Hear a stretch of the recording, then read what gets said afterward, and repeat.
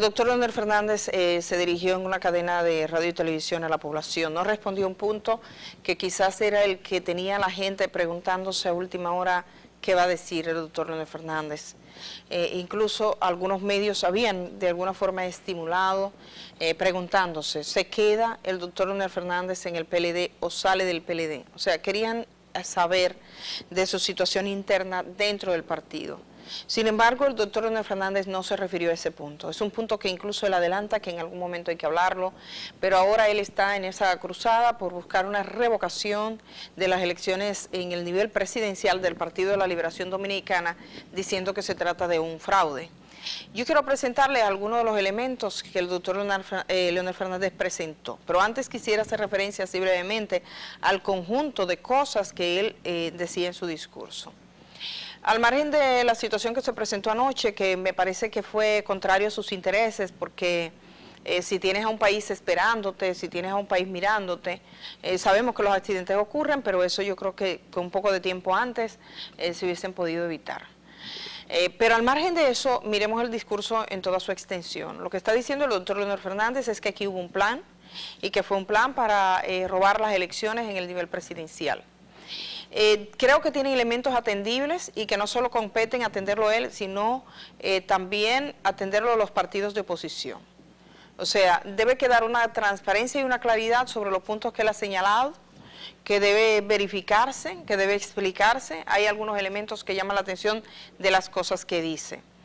Hay otras cosas que me extraña, la, digamos, que uno hubiese esperado un mayor rigor, eh, como el tema de la mención de participación ciudadana, que ahorita vamos a hablar con ellos, porque el doctor Leonel Fernández mm, hace referencia a unos datos que da participación ciudadana, pero resulta que esos datos habían sido dados, sin embargo participación ciudadana aclaró que esos datos fueron difundidos con error.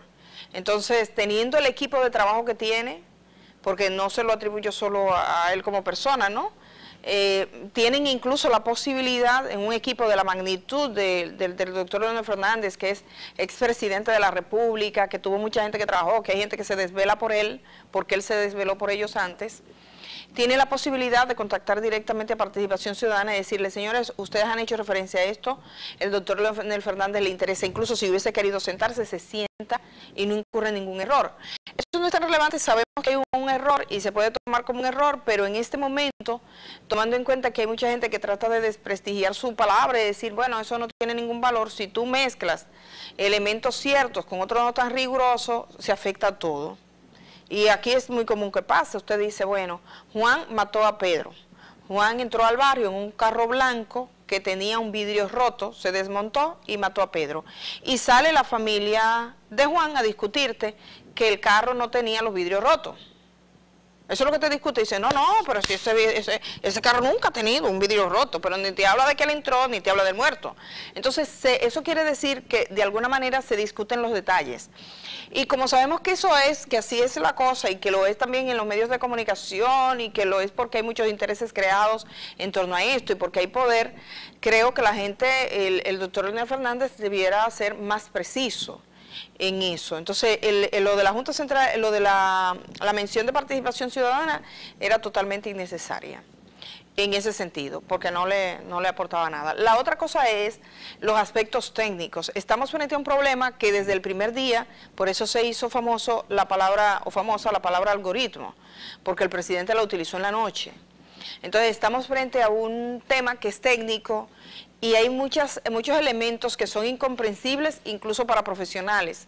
Entonces uno de los aspectos fundamentales, y de eso no tengo que explicarse yo al doctor Fernández, él es maestro en eso y puede explicarlo mejor que yo, es hacerse entender por la gente. Entonces uno nota en el discurso que hay aspectos que igual la población dominicana no puede comprender en toda la magnitud. Cuando hace referencia a, a los tipos de procesos que se agotaron internamente dentro de la Junta en términos técnicos para consumar eso que llama un fraude. Eso podría haberlo salvado presentando, por ejemplo, unas gráficas y diciendo, miren, esta es la forma en que se hizo.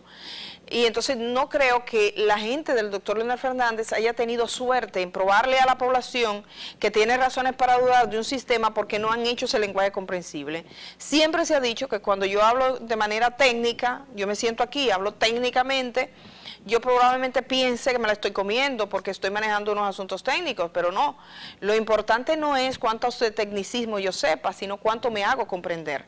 Y entonces, en cierto modo, eh, todo ese, ese discurso largo del presidente de la, del expresidente de la República y presidente de ese partido, eh, hasta para los peledeístas, uno puede poner, usted sabe qué significa esta frase, usted sabe, y eso había prácticas comunes, sobre todo, por ejemplo, yo que vengo de la radio comunitaria, te decía, la gente entiende lo que se toca, lo que se come, lo que se huele, eh, los refranes de la gente, las vivencias de la gente, entonces lograr, por eso no es lo mismo yo sentarme a hablar aquí que sentarme a hablar en Perú el periodista peruano conoce la idiosincrasia de ese pueblo, conoce cuáles son las palabras que entiende y el doctor Fernández, por supuesto, la de este. Por eso él usa palabras como pa'lante que vamos, porque es una frase popular. Entonces, eh, eh, en ese sentido, se hace como cuesta arriba y se hace un poco pesado para sus fines. Me parece a mí, es una opinión simple.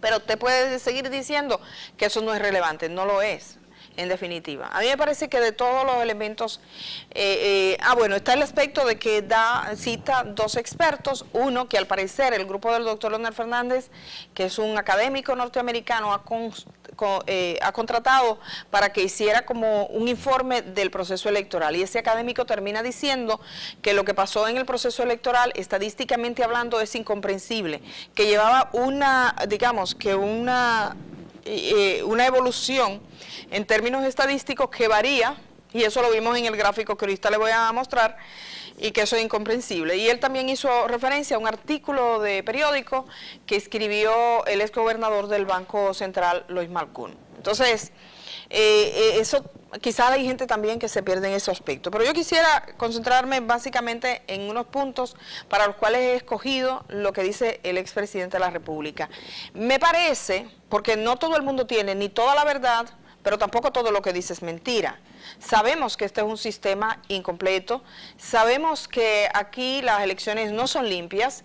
Y partimos de la referencia de que no son limpias porque este es un país donde el que tiene poder económico se puede imponer sobre otro, eso es muy, eh, muy relevante, donde la cuenta de lo que se gasta para una candidatura a diputado, senador o a presidente no guarda relación con lo que se obtiene al final, y eso es una prostitución del sistema democrático, porque después ese dinero de algún sitio saldrá, y todos sabemos de dónde sale, sale de las costillas del pueblo dominicano.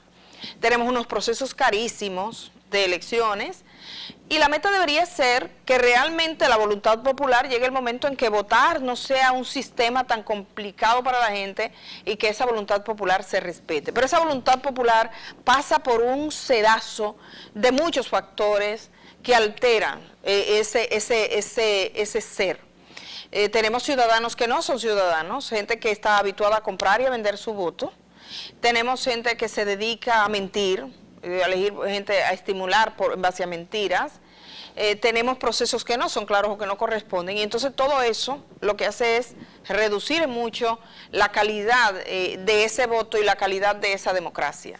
Ahora, cuando vemos al doctor Leonel Fernández eh, reclamar y está reclamando, lo que está en juego aquí es la dirección del Estado, es el control del Estado, él dice que está en juego la democracia, quizás sus fines no sean precisamente luchar por la democracia del país y todo lo demás, pero bueno, a fin de cuentas, eh, si contribuye de algún modo a que hay temas que se pueden discutir y se pueden estar sobre la mesa, y eso no quita, no es todo oscuro.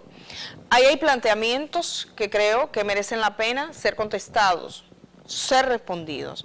Vamos a escuchar este primer corte de lo que decía el doctor Leonel Fernández, que desde mi punto de vista es de los elementos cruciales de ese discurso que él tuvo. Al concluir oficialmente el proceso de votación y cerrarse solo una parte de las mesas a las 4 de la tarde e iniciarse la transmisión de resultados, los dos principales precandidatos presidenciales del Partido de la Liberación Dominicana mantuvieron una competencia bastante cerrada.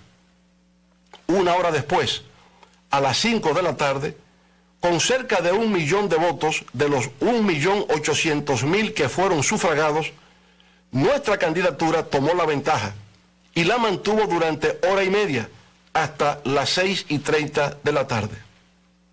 A esa hora, ya habían votado 1.600.000 electores, equivalente al 90% de los votos computados. faltaban por consiguiente solo 200.000 electores por ejercer su derecho al sufragio. Edith Febles, la cosa como es. Eso que está diciendo habla de las tendencias. Nosotros lo poníamos, y eso fue antes del reconteo de la Junta, que no varía en modo alguno, todo lo contrarresta un poco de votos a cada uno, pero no varía. Yo digo que esa, esa, eso, que, eso que ocurrió en el conteo de la Junta puede ser definitivo para los niveles del Congreso y para el nivel municipal, porque por ejemplo en Elías Piña se decide una senaduría o en Pedernales por 80 votos. Si estamos hablando de que desaparecieron 1.200 votos, entonces no afectaba el área presidencial pero se supone que lo mismo debió ocurrir en esos niveles. ¿En qué mesas fueron? ¿Dónde estaban? ¿Cómo fue? Eso no lo sabemos, la Junta tampoco lo ha explicado. Ahora, mm, fijémonos en lo que dice el doctor Leonel Fernández. Él está hablando de la evolución del voto, cómo comienzan esas gráficas que son los primeros boletines. Nosotros usamos una gráfica que es esa, ahí tienen ustedes.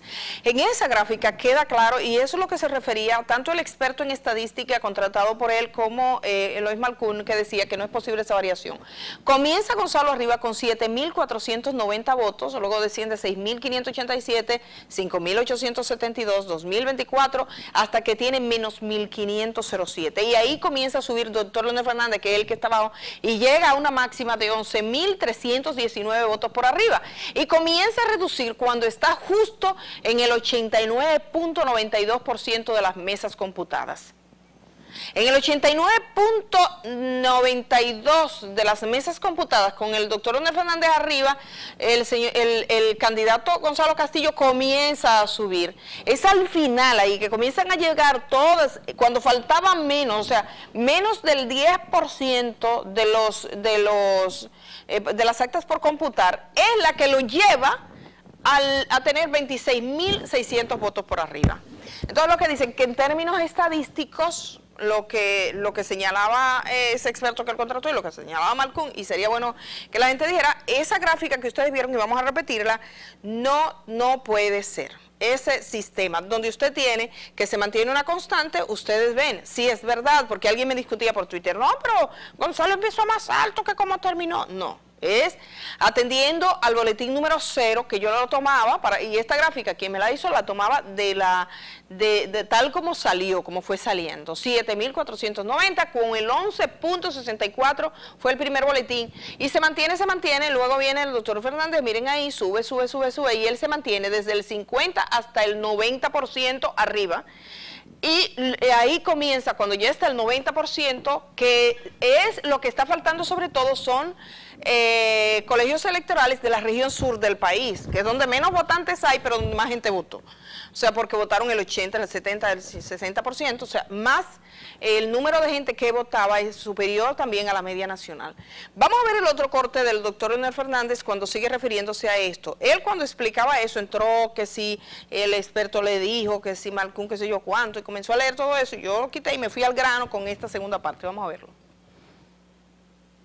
la observación de que hubo una concentración geográfica en una serie de provincias del sur, donde los recintos electorales cerraron tarde.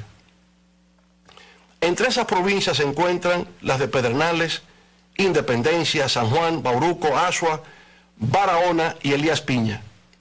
El informe en cuestión concluye indicando que el cambio brusco de tendencia operado fue inusual levantando serias dudas sobre la posibilidad de que ese cambio de tendencia ocurriese de manera natural. Desde el punto de vista científico, ese tipo de variación de tendencias, con el 90% de los votos computados, resulta altamente cuestionable. Edith Febles, la cosa como es.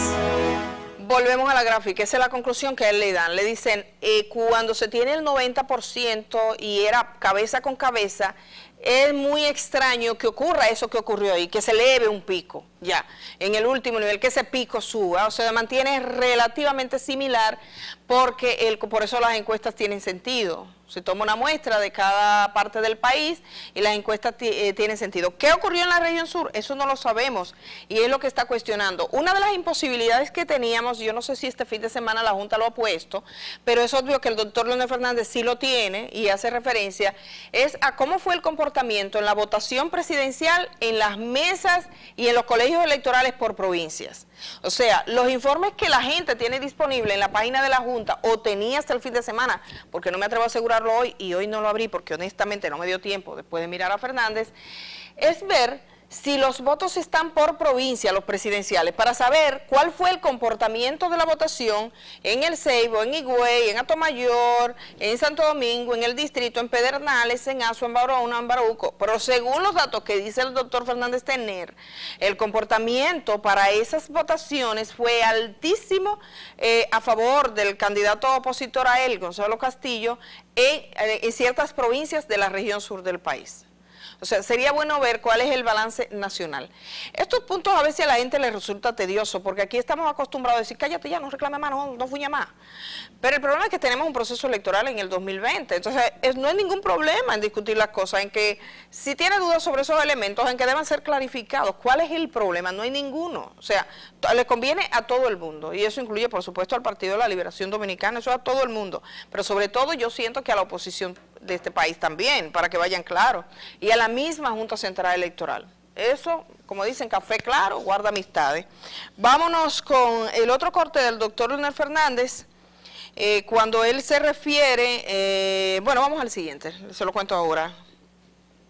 Para poner en contexto la naturaleza de este absurdo, debemos partir de la premisa de que este fue un proceso que, de acuerdo con las disposiciones de la Junta Central Electoral, debió de haber tenido lugar entre las 8 de la mañana y las 4 de la tarde, para un periodo total de 8 horas de votación, lo cual equivale a 480 minutos.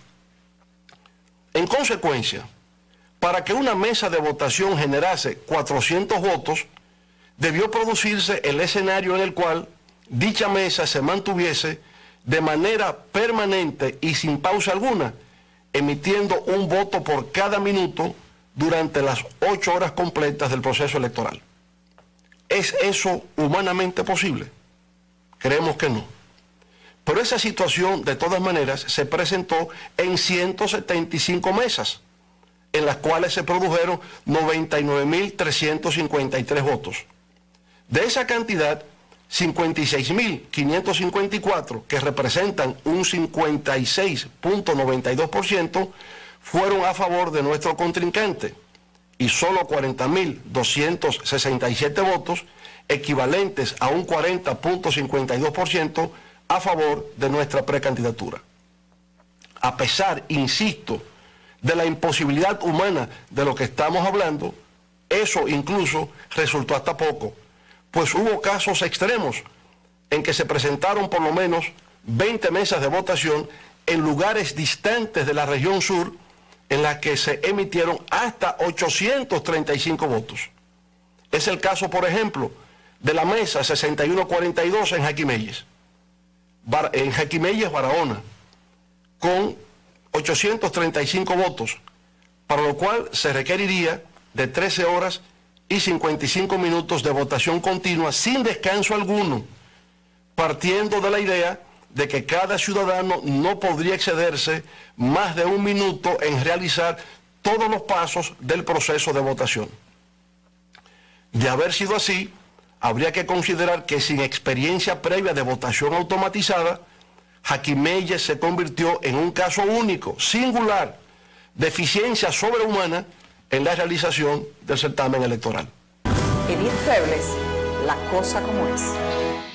Este es un punto al que habíamos hecho referencia, al tiempo eh, del votante. O sea, el tiempo que se calcula que todos esos votos, ¿en qué tiempo se votó? El doctor Leonel Fernández hace referencia y al parecer, parece que cuando ellos, como ellos tienen los datos por mesa, por colegios electorales, pueden verificar que habían colegios superinflados, donde no guarda relación. Pero si, hiciéramos un promedio de balance, nosotros tenemos 2.200.139 eh, votos emitidos.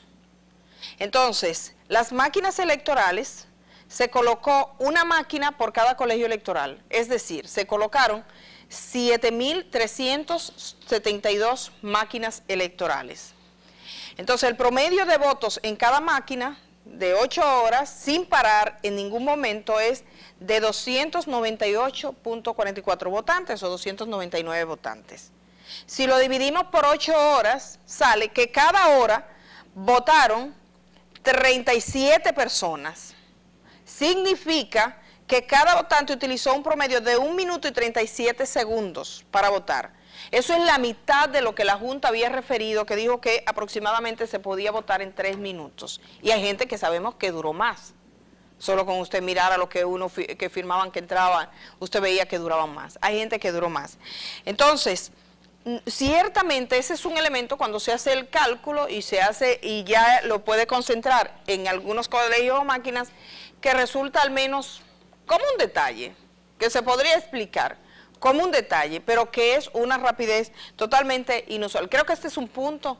El otro de, la, de cómo fue en términos estadísticos esa evolución, que ciertamente Gonzalo Castillo comienza arriba, eso le, digamos, le, le puede ser explicable entonces, o puede aminorar ese impacto, pero él empieza arriba, pero con una menor cantidad de votos que la que vemos ahí, el doctor Leonel Fernández se mantiene hasta el 90%, una tendencia, comienza hasta el 90% y en el 90% esto se dispara y el pico más alto lo encuentra exactamente al final.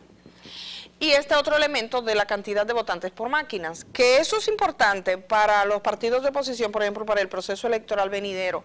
Y yo me imagino, porque he visto que la actitud de la Junta es abierta en ese sentido. Ellos han dicho, nosotros estamos aquí, vamos a responder, pero no basta con que se diga, no, no, vamos a un editorial, este país merece la paz, la tranquilidad, esto nos ha costado mucho esfuerzo, mucha sangre, vamos a cerrar esto. Y ya. Y ya, y siempre se hace aquí, aquí siempre todo se cierra sin hablar, sin discutir, ya ni en las familias se cierra la cosa así. Porque usted le pone un trapo a una cosa, una herida, y usted cree que usted la solucionó con un trapo puesto. Eso tarde o temprano ahí sale un problema. Entonces lo mejor es, vamos a limpiarlo, no importa, límpielo. Eh, acláreme esto, venga, vamos a, vamos a conversarlo. Y conversarlo, y eso son respuestas que le toca a quien, a la autoridad, eh, definirlo y a los demás que no se agobien porque la gente pregunten. Y que no se agobien porque la gente protesta. Si la gente protesta en orden y pregunta en orden, ¿cuál es el problema? No hay ningún problema, se supone. Vamos a ver el siguiente corte. Pero igual puede decirse de la mesa 5590 en Buechío provincia de San Juan, con 800 votos, que habría necesitado 13 horas y 20 minutos de votación continua sin tregua alguna. De la mesa 5825 en el Peñón, Barahona, con 798 votos. En la 5006 en Jimaní, con 790 votos. La 5638 en Mella, Independencia, con 741 votos las números 1587, 1590 y 1591, todas en para las casas Asua, con 695, 631 y 715 votos respectivamente. Llama la atención de que a pesar de que el promedio de votación a nivel nacional solo alcanzó el 25%, en estas regiones del sur, de manera extraña y sospechosa, se colocó por encima del 70%. A esto habría que añadir que la mayor parte de esa votación se produjo desde las 6.30 de la tarde hasta cerca de las 2 de la madrugada del día siguiente, cuando el proceso de votación se había cerrado desde las 4 de la tarde. Edith Febles, la cosa como es. Ese dato es muy importante, el de la hora de cierre de los colegios, a qué hora y cómo se hace y a qué hora empieza ese, ese conteo. Y uno lo recuerda de antes. Yo creo que todos apreciamos eh, la manera en que fue, que fue fluido, el sistema funcionó, pero en el momento en que los datos comienzan y todo el mundo tiene, bueno, ahí está, esto fue lo que entró, entró y no pasó por ningún papel, no hubo. Nadie se robó urnas, se recuerdan antes que había que ir con guardias, eh, la gente que se robaba las urnas, la quemaban, la distraían, los muertos aparecían votando. Habían hasta chistes con esa historia que los muertos aparecían votando, todo eso. Todo el mundo creo que está consciente de que es un avance eh, tener un sistema mejor. Y me parece que ahí hay datos por mejorar, obviamente. Pero sobre todo de cara a las elecciones del 2020, porque todo es un aprendizaje. Es la primera vez que República Dominicana está incurriendo, no solo para República Dominicana, sino que para muchos países del área el proceso electoral nuestro era un, un precedente. Miran a ver, porque incluso vienen observadores y dicen, ay, ¿cómo se hace en tal sitio? Todo el mundo mira a ver cómo se hace. Entonces, y además que nos costó mucho dinero. Si a la hora que se cierran, se suponía que a las 4 de la tarde, hay que poner un plazo para ese término. O sea, los que están en las filas, pero ¿cuánta gente había en las filas? ¿O es que la mayoría estaba en las filas a esa hora? Yo vi fotografías, ciertamente, por ejemplo, de una periodista que de la región sur, ella subía donde se veía que estaban votando en horas tardísimas de la noche. Entonces, esos votos pueden estar, ¿tenían esa gente conocimiento de cómo iba la evolución de la votación? ¿Pudo alguien incidir en la manera en que esa gente que todavía estaba en fila y que estaba siendo crucial, porque fueron cruciales para la decisión, pudieron saber cómo era que estaba el comportamiento a nivel del país, por dónde tenían que irse, pudieron ser presionados o no, tenían celulares o no, tenían informes o no, tenían comunicación o no, estaban en espacio cerrado o no, de afuera se podía decir, va tanto a tanto, porque eso no es que están cerrado, un colegio electoral. Entonces, todas esas cosas, por eso se supone que lo mejor es que el proceso público comience cuando se cierra, cuando se termina. Yo no sé, y eso sería, el doctor Fernández dice que eso no se hace en ninguna parte del mundo, no sé si en otro sitio habría que cotejarlo y ver, pero al parecer es un punto que debe ser de interés no solo suyo, sino de los demás. De la hora de cierre de las votaciones una vez, porque tenemos un sistema donde la gente va, quien entiende que está ganando, puede variar y tenemos, y de profunda corrupción. Entonces usted no tiene unos votantes que están eh, digamos, eh, con un ambiente idóneo, estéril, que ese votante está alejado de todo, no escucha la televisión, no escucha la radio, está cerrado, su voto no va a ser incidido por lo que está saliendo en los boletines. Esa no es verdad, porque ¿cuáles son las filas aquí? Ah, pues si está votando en el Liceo Sergio Augusto Veras en el Seibo, estaría en una fila o en la Junta Central, yo me la imagino que es mi pueblo, por eso hablo de esa, en una fila y ahí en el patio es un gallinero. Y cualquiera le dice, está ganando Gonzalo o está ganando fulano.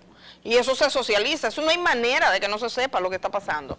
Entonces los datos eh, parecen ser relevantes. Ese es un punto que la Junta debería considerar porque el hecho de que haya sido con voto electrónico diferente a otros procesos electorales fue probablemente entonces tenían una hora, comenzó todo el mundo a recibir y en el momento que comenzaron a recibir todos, en los medios eso era pantalla abierta. No, quizás la Junta podría estar recibiendo, tener esos mismos receptores en los medios, podría estar recibiendo la Junta. En el momento que se cerró la votación, la Junta puede decir, señores, este conteo comenzó y despliega cómo fue ese proceso. A partir de esta hora estamos en, eh, visible. O sea, o comenzar a contar en el momento, porque total, eran dos horas más o dos horas menos, nadie dice, miren si anoche la gente esperó al doctor Leonel Fernández hasta la una de la noche. No va a esperar los resultados electorales. No, no, había, no había por qué correr en esa etapa, me parece a mí. Entonces, ese es un, elemento que ha dado mucha contrariedad, sobre todo a este grupo, que es el que está en, digamos, en, en disputa, que no acepta, que no admite. El otro punto, el que él está haciendo referencia, fue esa alta participación en la región sur. Y yo digo que esto es irónico, es irónico porque el único día que los pueblos del sur tienen importancia en el país es el día de las elecciones. En general los pueblos, porque aquí en la capital piensan que todo se hace aquí que aquí se hacen los cheques, que aquí, que cuando hay un ciclón, si no afecta a la capital, no hubo ciclón en los medios. Dicen, no, la ciudadanía estuvo tranquila, sé aunque se esté llevando el diantre a una familia que están en tal sitio. Porque realmente la cobertura informativa aquí, salvo rosas excepciones, es en el centro de los en el polígono central. O sea, todo ocurre ahí y allá, viendo a ver qué dice fulano, qué dijo Prenseo, qué dijo fulano, qué dijo de... Mire, fulano dijo de usted y en eso se nos van los días. En un centro de información que básicamente tiene que ver con los lugares donde se toman las decisiones con respecto a, todo el país. Es muy difícil ah, que esos pueblos salgan, a no ser cuando hay una tragedia, cuando hay una cosa, pero nosotros no nos enteramos del desarrollo de esos pueblos o cómo les va. Entonces, curiosamente, el día en que pesa mucho, mucho, mucho, mucho la gente de un pueblo es el día de las elecciones. Ojalá en las decisiones nacionales posteriormente pudieran demostrar eso. Y uno lo ve en la región sur tan olvidada, tan obviada de los presupuestos y de todo. Y lo digo solo como un comentario adicional para que los políticos piensen. Y esa gente de esos pueblos, denle valor a su voto. Miren, esa gente ustedes pueden decidir elecciones.